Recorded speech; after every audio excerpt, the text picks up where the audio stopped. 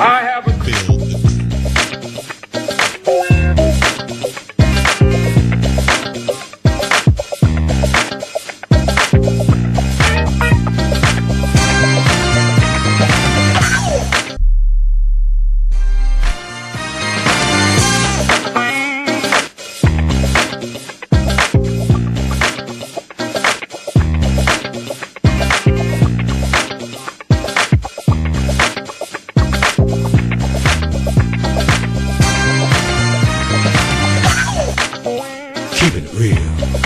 real. Keeping it real, keeping it real. I'm your host, Reverend Al Sharpton.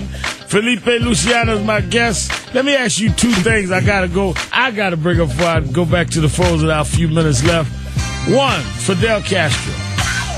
What is the reason that you feel many African Americans gravitated toward him, and some even now his protege in some respects, Hugo Chavez?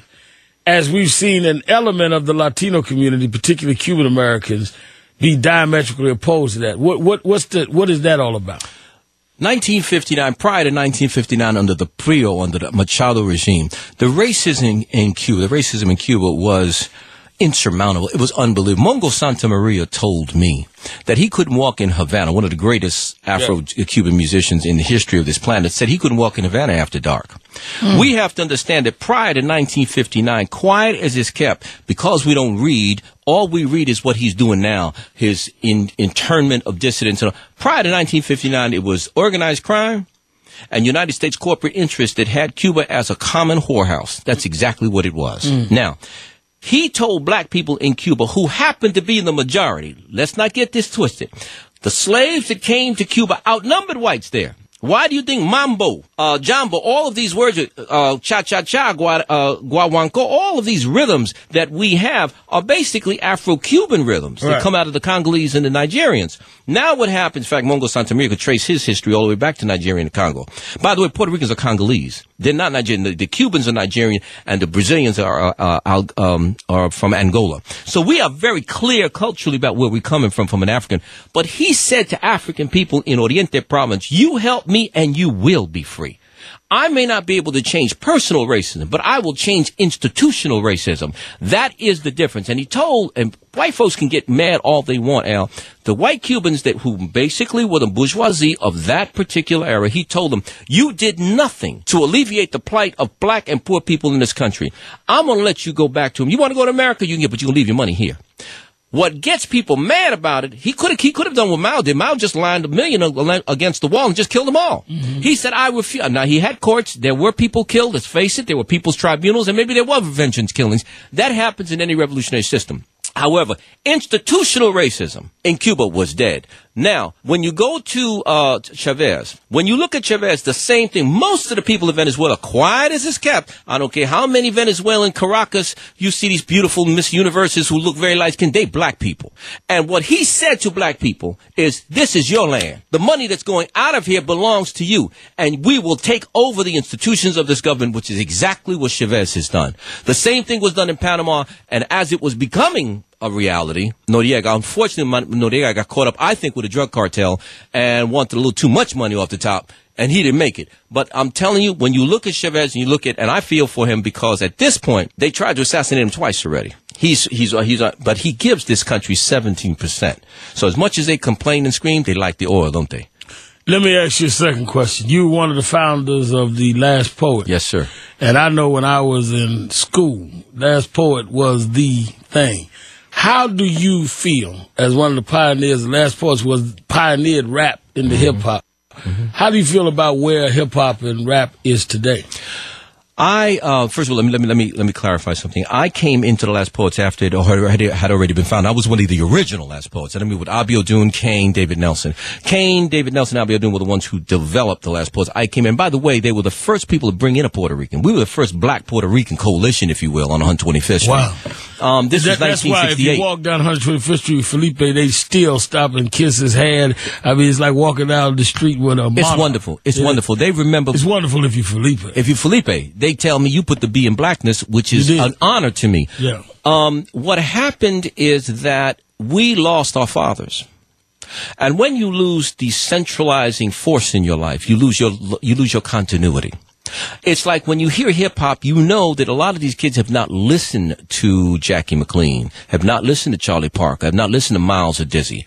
So what you have today is a fissure, a juncture break. You have a break, a chasm between what happened then and what happened now. Our problem is our family. And I think the problem with people of color, they're two, I call them the two F's. Black people, we sometimes as Latinos, we sit down and we marvel at black people. I sit down and I hear Aretha. There is no one like her. I listen to Luther Vandross. I listen to, um, Donny Hathaway, who we tend to ignore. Right. Donny Hathaway was original. When you listen to Marvin, when you listen to Sam, when you listen to little Willie John, when you listen to these people, you sit and you, as Latinos, we sit and marvel at the beauty of the voice. We know that God has given black people faith.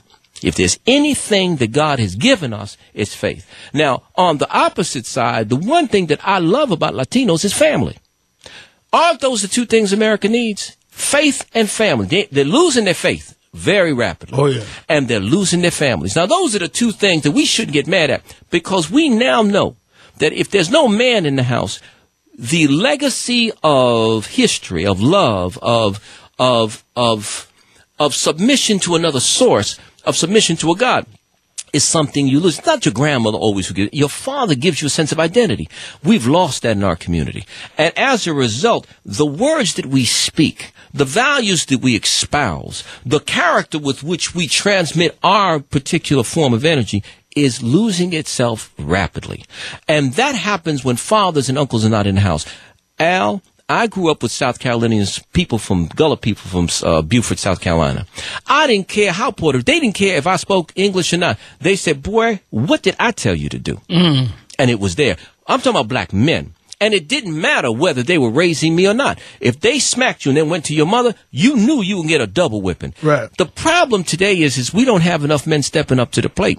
And I put this directly at the feet of Christianity. We have to stop. We, I go into these churches today. I'm sorry for going off into this one. I go into these churches. And I see all women. What's up with that? Right.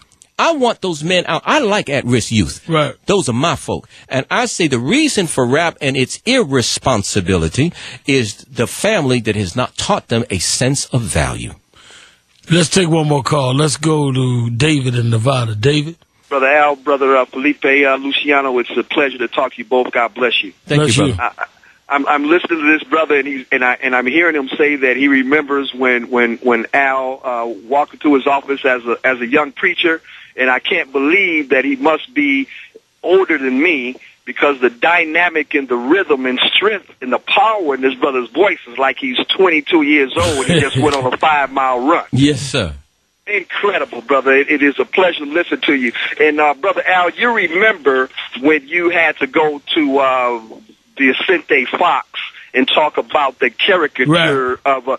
That is something. And then he told you then that it was a historical thing that they've been looking at and laughing about for centuries. Right. You're right. That then was a brainwashing Yes, sir. of those Mexicans over there who now come here and they still have this look. They have assimilated into this white population and have been rewarded. Yeah, they, they have stamps down there with Sambo. He, Oh, yeah. David's right. Oh, yeah. You see that all over South America. You're right.